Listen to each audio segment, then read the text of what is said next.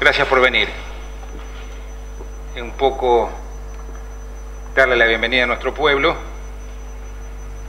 y al darle la bienvenida a nuestro pueblo, agradecerle que estén trabajando en Salto, por supuesto, agradecer al secretario de Seguridad, agradecerle al,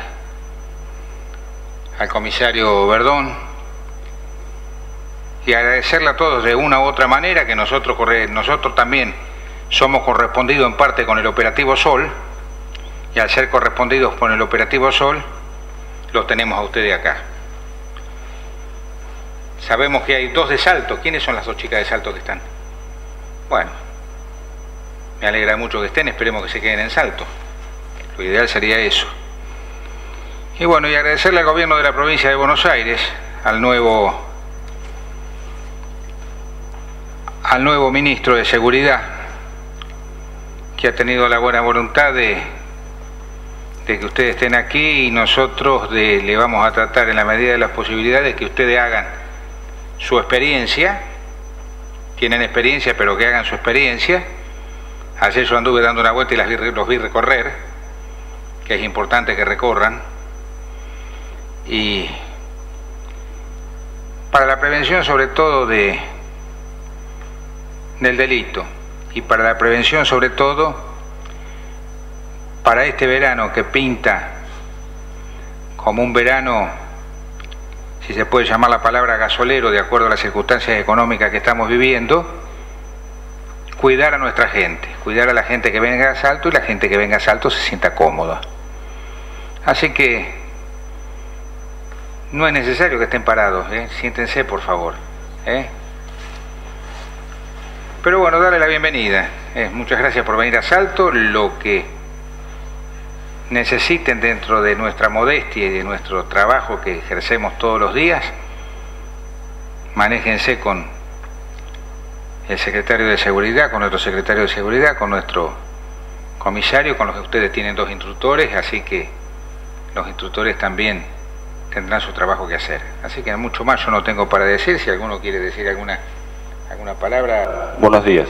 Bueno, bienvenidos a Salto. Y hay algo que es importante. A nivel provincial, Salto es tenido en cuenta como una ciudad turística. El resultado está acá. Si bien nosotros vivimos pidiendo policías durante todo el año, no solamente en el verano, ya por lo menos desde que estoy yo, es la segunda temporada consecutiva que nos mandan refuerzos. Llamémosle operativo Sol local.